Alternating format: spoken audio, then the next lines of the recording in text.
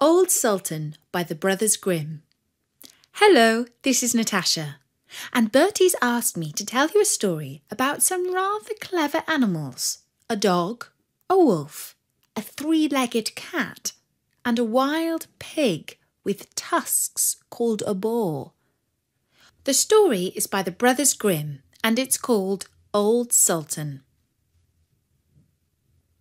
A farmer once had a faithful dog called Sultan, who had grown old and had lost all his teeth so that he could no longer bite. One day, the farmer was standing with his wife before the house door and said, Tomorrow I intend to shoot old Sultan. He is no longer of any use.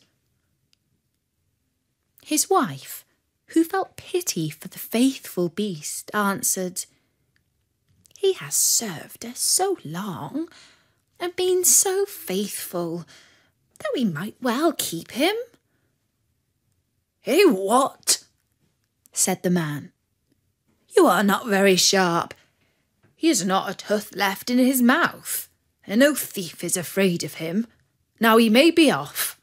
If he has served us, he has had good feeding for it. The poor dog, who was lying stretched out in the sun not far off, had heard everything and was sorry that the morrow was to be his last day. He had a good friend, the wolf, and he crept out in the evening into the forest to him and complained of the fate that awaited him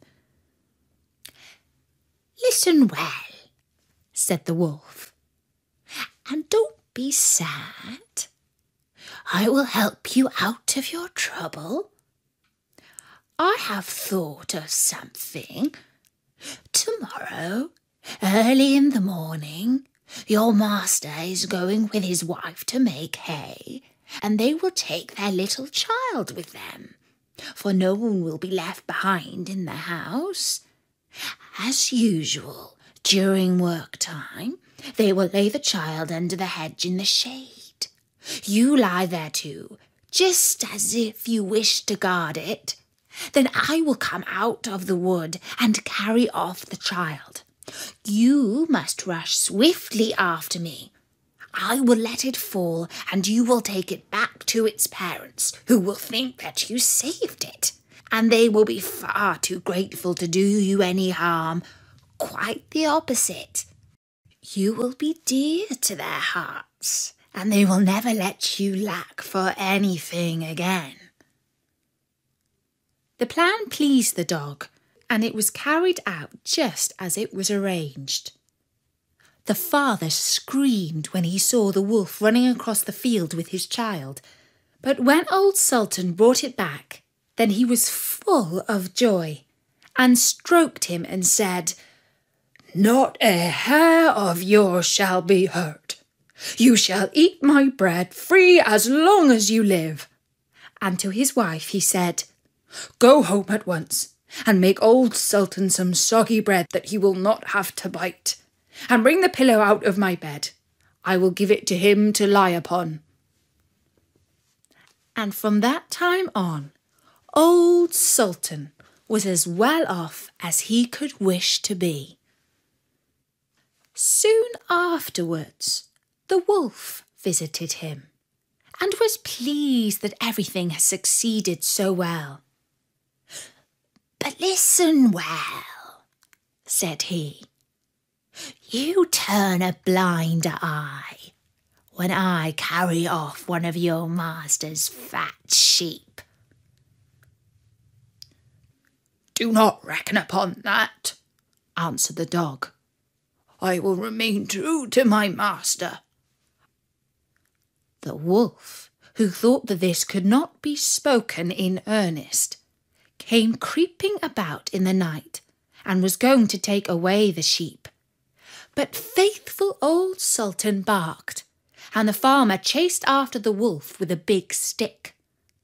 The wolf had to pack off and he cried out to the dog, Wait a bit, you scoundrel. You shall pay for this.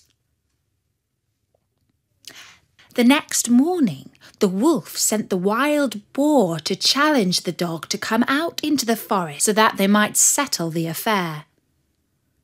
Old Sultan could not find anyone to stand by him but a cat with only three legs.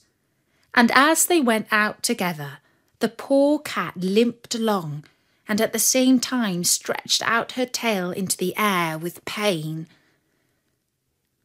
The wolf and his friend were already on the spot appointed, but when they saw their enemy coming, they thought that he was bringing a sabre with him, for they mistook the outstretched tail of the cat for one. And when the poor beast hopped on its three legs, they could only think every time that it was picking up a stone to throw at them. They were both so afraid. The wild boar crept into the underwood and the wolf jumped into a tree. The dog and the cat, when they came up, wondered that there was no one to be seen.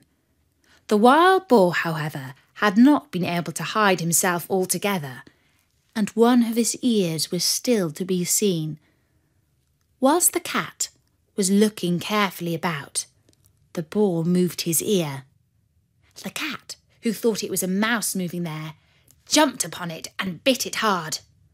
The boar made a fearful noise and ran away, crying out, The guilty one is up in the tree! The dog and the cat looked up and saw the wolf cowering in the trees. He was ashamed of having proved himself to be so afraid. And when he came down, he made friends with the dog.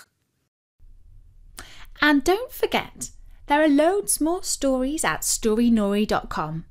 So drop by soon and listen to another one. For now, from me, Natasha, bye bye.